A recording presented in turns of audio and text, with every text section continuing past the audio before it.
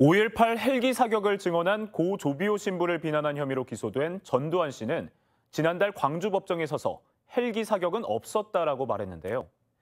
헬기 사격의 흔적이 남아있는 전일 빌딩이 4년간의 정비 작업을 마치고 드디어 시민들에게 공개됩니다. 고우리 기자입니다. 흰색 콘크리트 기둥 여기저기가 움푹 패여 있습니다. 바닥과 건물 외벽에도 페인 자국이 눈에 띕니다.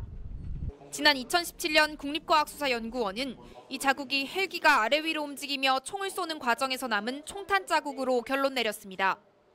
건물보다 높은 곳에서 쏘지 않고서는 위에서 아래로 꽂히는 탄은이 나올 수 없는데 당시 전일 빌딩은 금남로에서 가장 높은 건물이었습니다. 헬기 사격의 흔적을 고스란히 간직한 전일 빌딩이 4년간의 리모델링 작업을 마치고 드디어 문을 엽니다. 건물에 남은 245개의 총탄 흔적을 담아 이름도 전일빌딩 245로 새로 붙였습니다. 전일빌딩 245에는 245개의 탄은뿐만 아니라 이렇게 5.18의 참상을 알리는 장소도 곳곳에 마련되어 있습니다.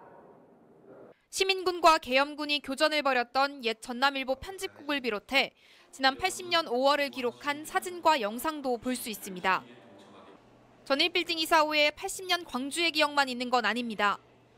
남도 관광센터와 시민 갤러리, 디지털 정보 도서관 등 광주의 현재도 함께 자리 잡았습니다.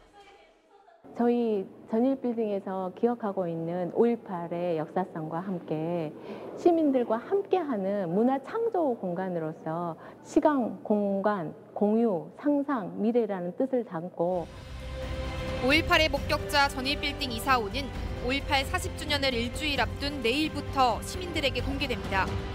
KBC 고울입니다.